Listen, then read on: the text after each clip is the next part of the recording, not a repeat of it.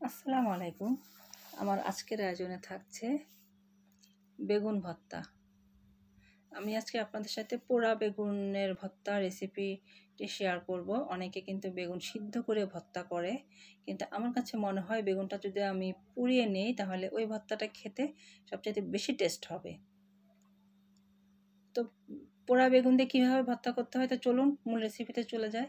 আমি এখানে একটু মোটা দেখে দুটি বেগুন নিয়েছি। আর বেগুন পোড়াতে গেলে একটু মোটা বেগুন নিতে হবে, মোটা এবং লম্বা।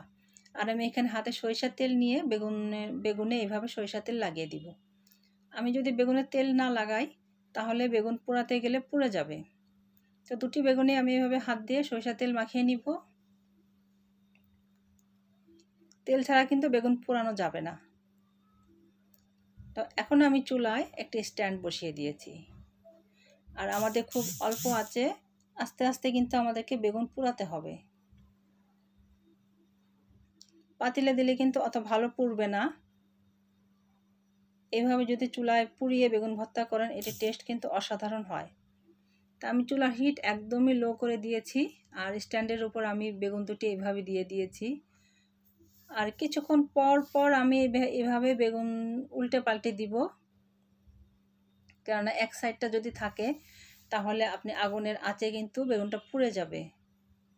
একেবারে পুড়ে যাবে, যেটা মানে খাওয়া যাবে না। সেই জন্য আমি কিছুক্ষণ পর পর এভাবে উল্টে পাল্টে দিব এবং এভাবে হাত দিয়ে টিপে টিপে দেখব বেগুন সিদ্ধ হয়েছে কি না এই বেগুনটি আমাদের হয়ে গেছে। এই বেগুনটা আমাদের পুরানো হয়ে গেছে।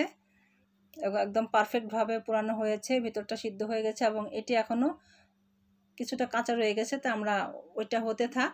এদিকে আমরা এই বেগুনটা রেডি করে ফেলি। তো এইভাবে আমি হাত দিয়ে বেগুনের উপর থেকে খোসাগুলো ছাড়িয়ে নিব।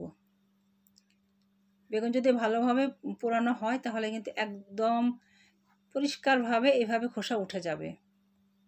আমি হাত দিয়ে হাত দিয়ে যেভাবে খোসা ছাড়িয়ে নিচ্ছি, ঠিক এভাবেই আপনারা ছাড়িয়ে নেবেন।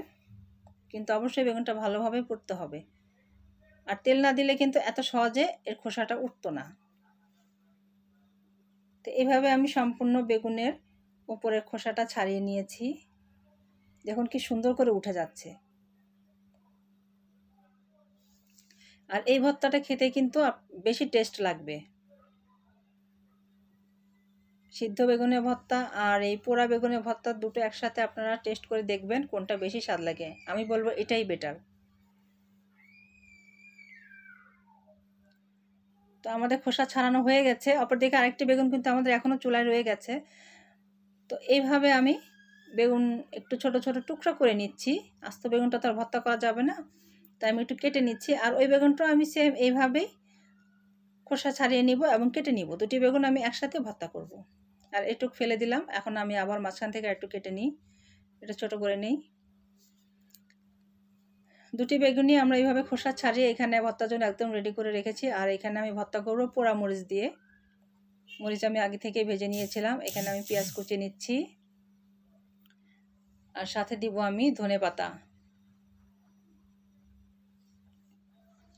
তো প্রথমে আমরা লবণ দিয়ে পেঁয়াজ এবং মরিচ খুব ভালোভাবে মিক্সড করে নিব। একটু হাত দিয়ে কষলে কষলে মাখিয়ে নিব।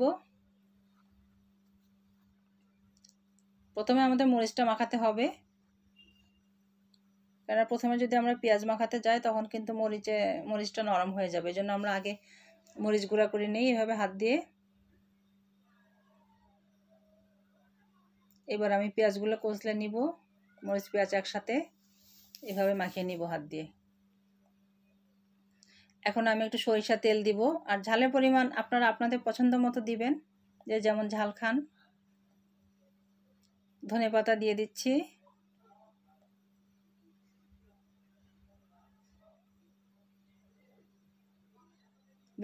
ধনে পাতাগুলো আবার পেঁয়াজ মরিচের সাথে খুব ভালোভাবে মাখিয়ে নিলাম। এখন দিব সরিষা তেল।